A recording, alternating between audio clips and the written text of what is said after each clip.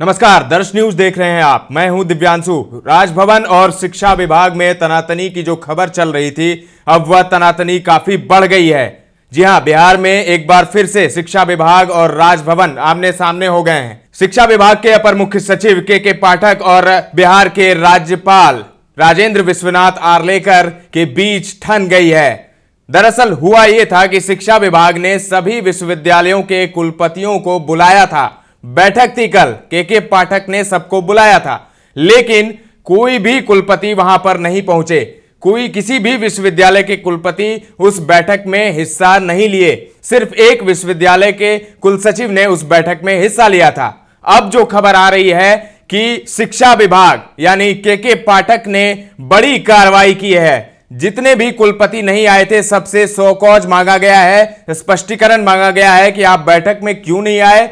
साथ ही सभी विश्वविद्यालय के अकाउंट जो हैं, वो फ्रीज कर दिए गए हैं और सबके वेतन भी रोक दिए गए हैं। अकाउंट ही फ्रीज कर दिया गया है। ना ही निकासी होगी, ना ही जमा होगा।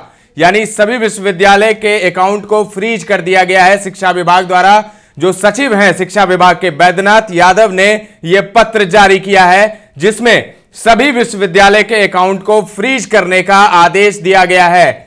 आपको बता दें कि ये ये कुलपति अपने मन से बैठक में हिस्सा लेने नहीं गए थे, बल्कि इन्हों, इनको रोका गया था। राज्यपाल ने रोका था इन्हें, और इन्हें बैठक में शामिल नहीं होने को कहा था। इसीलिए कुलपति उस बैठक में हिस्सा नहीं लिए थे। अब जो है, शिक्षा विभाग ने कार्रवाई की है, और सभी कुलपतियों से सौकौज मांगा गया है, स्पष्टीकरण मांगा गया है कि आप बैठक में हिस्सा क्यों नहीं लिए?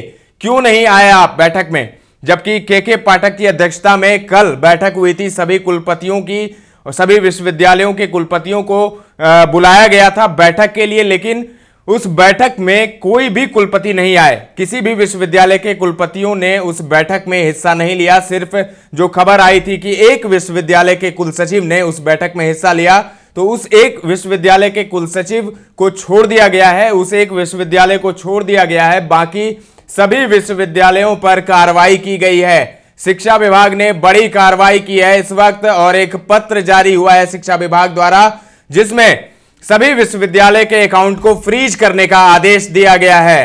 के के पाठक ने बड़ा एक्शन लिया है और फिर से एक बार बिहार में राजभवन और शिक्षा विभाग आमने सामने हो गए हैं। राजभवन और शिक्षा विभाग के बीच ठन गई है, एक बार फिर से आपको याद होगा, महागठबंधन की जब सरकार थी, उस वक्त भी एक मामला आया था जिसमें राजभवन और शिक्षा विभाग के बीच तनातनी हो गई थी। दोनों के बीच काफ़ी दूरियाँ बढ़ गई थी और काफ़ी तल्ख, तेवर थे दोनों की तरफ़ से। और एक बार फिर से बिहार में ऐसा ही हो रहा है, जिससे राजनीतिक पारा भी जो है, वो चढ़ गया है।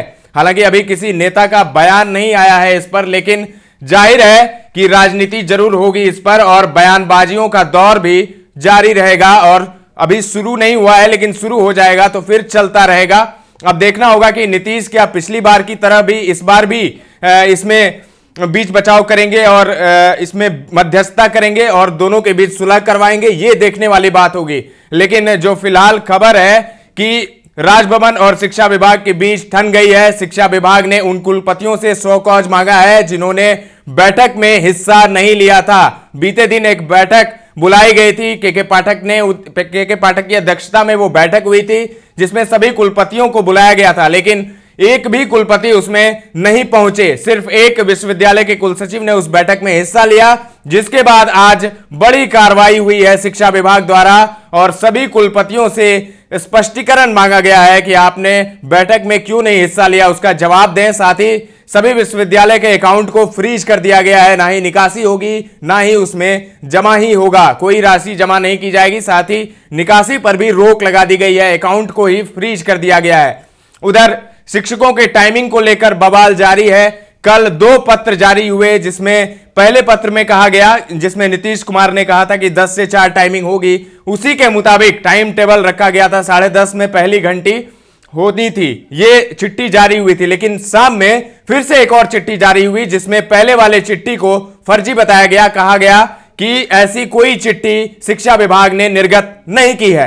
तो उसमें भी अब कंफ्यूजन है। शिक्षा विभाग के फर्जीवाड़े में शिक्षक एक तरह से फंस रहे हैं, क्योंकि शिक्षकों को पता नहीं कि कौन सी चिट्ठी सही है और कौन सी चिट्ठी फर्जी है। उस पर भी सियासी बवाल जारी है। साथ ही अब नया मामला सामने आ गया है, जिसमें राजभवन और शिक्षा विभाग के बीच ठन गई है। तो देखते जाइए, अब होता है क्या? ताज़ा तरीन खबरों का सिलसिला लगातार जारी है। देखते रहे दर्श न्यूज़।